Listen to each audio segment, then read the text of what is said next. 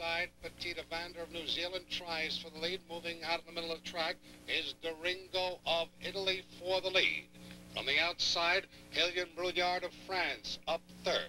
They move around the uh, first turn into the stretch. Along the inside with the lead is Doringo of Italy. They straighten out and come for the quarter pole.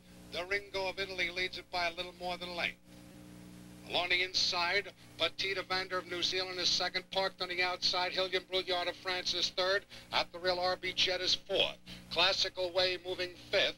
That's Cold Comfort, and the early trailer is Ideal du Gazeau. They're by the quarter pole in 30 seconds even. Down the backstretch the first time. Doringo of Italy off stride. Doringo of Italy is in a break.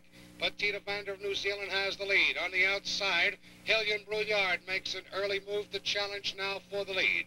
They approach the half-mile pole. That's Petite Evander and Hillion Brillouard on the outside. Heads apart for the lead. RB Jet of Canada third. Classical Way of the United States moving on the outside fourth. They're by the half in one, one, and four.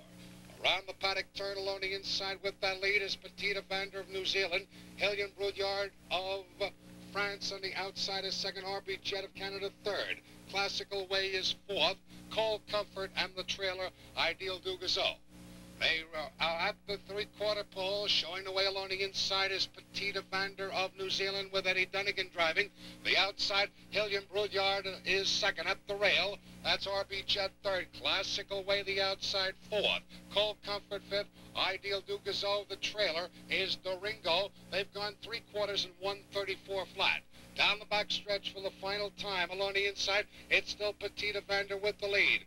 Hillion Brillouard of France on the outside is second up the rail. RB Jet of Canada third. Classical Way of the United States moving on the outside fourth.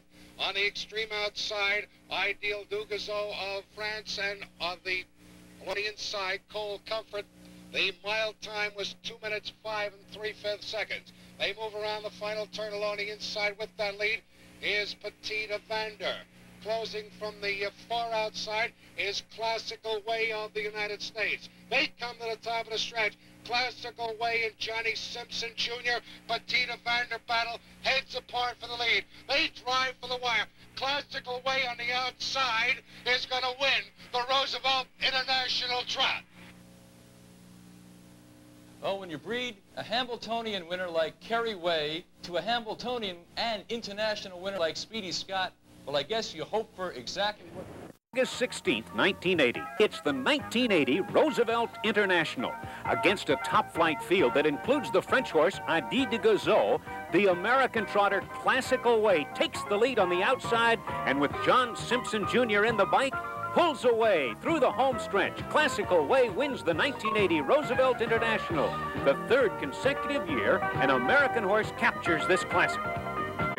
Ideal du Gazeau is leading in the Challenge Cup, but the French horse breaks stride going to the final turn, losing out to Classical Way once again.